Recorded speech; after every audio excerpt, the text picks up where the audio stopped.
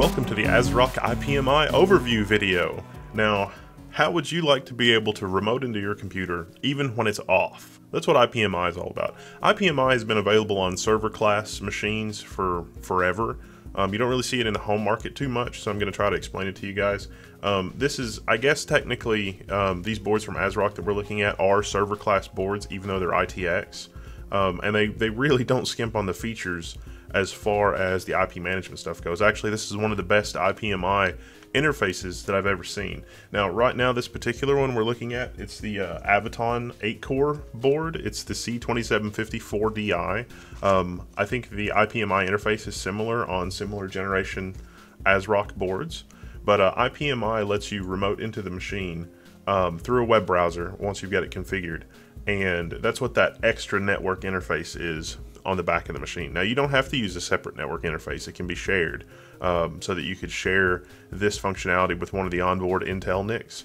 But it does have a completely separate Realtek NIC that's just for remote control if you wanted to have that on a separate network. So this is really built to be a, a small business, medium business platform. This would even be okay in the data center um, with the IPMI. So let's log in and take a look. This is the, the web page when you first load it. I've just got it set up here. Um, we want to sort of enable pop-ups so that it can do pop-ups. It also depends on Java, so you got to make sure your version of Java is up to date, and you'll see why in a minute. I'm not kidding when I say that you can remote into your computer even when it's off. So this is the IPMI screen. It shows you uh, what the current status of the machine is.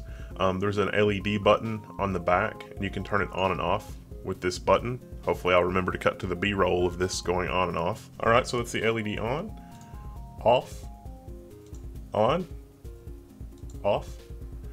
So if you've got a bunch of these, it makes it easy to locate. All right, so one of the reasons that I say this is the coolest IPMI I've seen, we'll just jump right to it, is audio and video recording. So triggers configuration. So if there's a voltage or temperature event, if there's a watchdog timer event. Now if you don't know, a watchdog timer, there's a special piece of hardware in the server, and it's like a dead man switch almost. The server software, the operating system, Windows, Linux, FreeBSD, whatever, has to reach out and touch that watchdog every so often. And if it doesn't, then the server's reset. And so theoretically it would boot up normally and everything would be good. So if there's a watchdog event, it starts taking video and saves it so you can look at it later to see what happened. Uh, chassis event, there's a chassis intrusion switch on the motherboard. So if you uh, if you have a chassis that has the intrusion switch, uh, you can wire that up. So if somebody opens the board, you can get video of what's going on on the server console when that happens. So this is really, really cool. Um, and we can go here to recorded video and see the recorded video of when and, and how that was recorded and it saves it to the flash memory on the server. So that's a really nice security feature. Um, we've got, before we get into remote control, um, we've got some interesting, you know, the information about the FRU, server health. There's a sensor readings, but also a log, a history of the different um, uh, server uh, events that have happened as far as the sensors go for fans, temperature, and voltage from the power supply. This is really, really cool.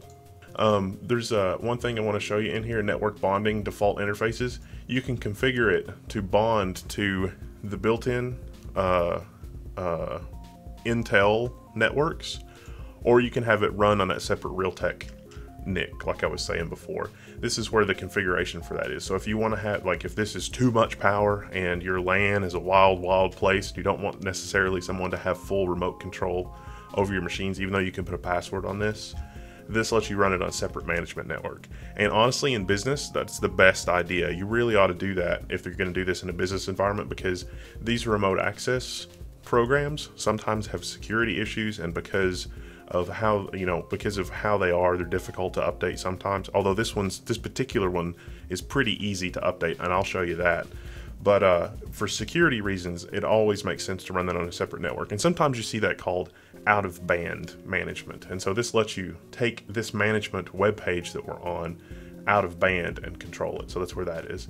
Um, you can also configure active directory integration for this um, and a whole bunch of other things um, which is really nice. You can do your own, like a real SSL certificate instead of the self signed SSL certificate this is running with now. So these are all really, really cool enterprise features. The other thing I want to show you is virtual media. So if you had one of these in the data center, you could actually remotely reinstall an operating system. So you can use the virtual media thing to expose a you know an ISO or whatever over the network like as if it was local in order to reinstall an operating system remotely or something like that. Usually if you have that kind of a problem, you've got hardware issues, you get to do a drive replacement or something like that. I don't know how useful that will be in a home environment, but it's really really cool that that feature is there in something at this price point. I'll show you the firmware update thing real quick. Um, the firmware update thing is pretty easy. It's a wizard. You just browse, next, upload. Um, I was sort of surprised and delighted that the, the board that I got was fully up to date. Usually one of the first things that you should do when you get a board like this is check and make sure that your firmware is fully up to date. And this is the baseband management controller, the BMC uh, or IPMI interface. And there's a download for that on ASRock website so you can you can update this and keep an eye on it. It's not it's it's not like a BIOS upgrade. It's a little like a BIOS upgrade, but it's not the BIOS. There's actually a computer within a computer, and that's the uh, update for the computer within a computer that lets you remote control the full machine. So it's almost like we're remoted into a little computer inside the main computer that lets us control it.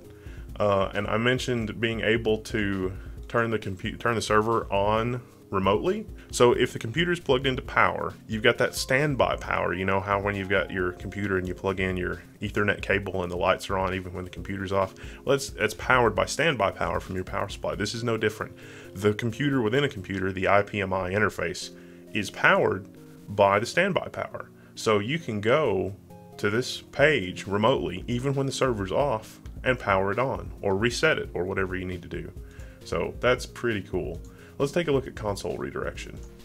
Okay, now we've got the remote view of what's going on on the machine like as if we're sitting there. And right now, at this particular juncture, we are actually inside the BIOS. So, um, you know, how cool is it that you can remote into the computer and run the BIOS? And just to show you we've got full control over the machine, we're going to do uh, reset server sure. It's like, oh, this is a power control operation. Are you sure?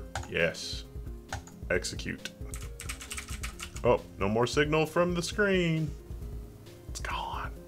When you reboot, it also reboots the little management thingy. But that's okay, because it will come back. And we're back in. And as we can see from the little view here, this is a current view of what's on the console, which makes sense because I'd installed FreeNAS on this thing earlier. It is Nosferatu, after all. This is IPMI, and this is why it's cool. It's computerception. I don't know.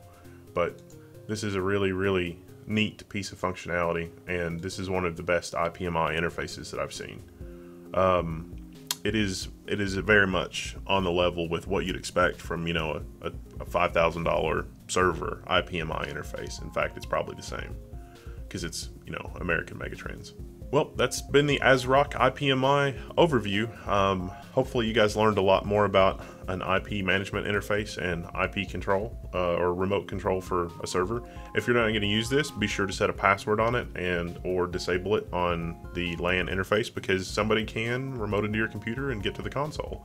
So like in uh, in FreeNAS, because I've got it configured to not um, block the console or not, you know, have a password on the console, somebody could remote into this with the default password and then take control like as if they were sitting at the machine remotely. So it's very important to secure this, turn it off if you're not going to use it, you know, whatever. But it's so handy that you can, you know, do a lot of cool stuff with it remotely. I mean, you could put this in a completely hard to get to place in your house, and unless you had a uh, hardware failure, um, you wouldn't even ever have to go plug a monitor into it or deal with it. You just run it and it would be fine. It's really good for small apartments and things like that. I mean, the Node 304 that we're using here is a really, really compact case for as much stuff as you can get in there. There are other ITX cases that are really compact, but you can have terabytes and terabytes and terabytes of storage in such a compact and relatively quiet box. And this means you don't have to have a monitor, keyboard, and mouse with it at all. You could completely reinstall the operating system. You could do an upgrade. You could check on it, you know, whatever you need to do. I would feel completely comfortable doing a complete OS reimage of uh, FreeNAS on this thing remotely with no local keyboard and mouse with this IPMI interface. So that's been an overview of IPMI. Rate, subscribe.